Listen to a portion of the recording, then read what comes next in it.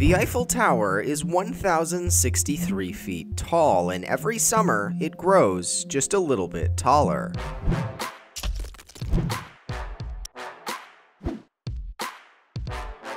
When iron heats up, like most materials, its particles move further and further apart. This requires them to take up more volume.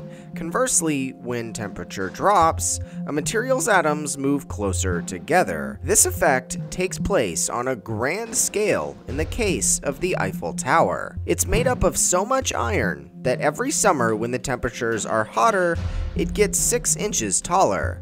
That means in hot weather, the Eiffel Tower is actually 1,063.5 feet tall. And that was your Friday Fact. Thanks for watching. If you enjoyed this video, be sure to check out last week's video here and subscribe to our channel here and our main channel here.